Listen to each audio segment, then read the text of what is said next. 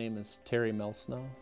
Um, my role on the dairy is I help out with the equipment maintenance and just equipment prep, making sure everything is going as needed during the day. And I also help the herdsman out with cows as he needs help. You know, just a daily daily routine on the farm. Uh, the rotary is a 80 stall um, GEA rotary. We are milking 2,000 cows three times per day. The Apollo system post dips automatically with an iodine-based product.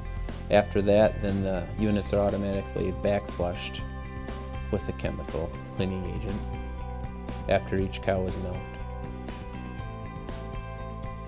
The Apollo system saves a one man per shift being that it's done automatically. Otherwise, we would have to have somebody standing there post-dipping the cows as they exit. It's also nice to know that we don't have to rely on somebody to make sure, you know, the dip is applied to every cow. We, we know that it's done efficiently. The dip coverage, from what we've seen, is, is very adequate. It's, uh, you know, fully covered. Yeah, I would abs absolutely recommend Apollo to other dairy producers.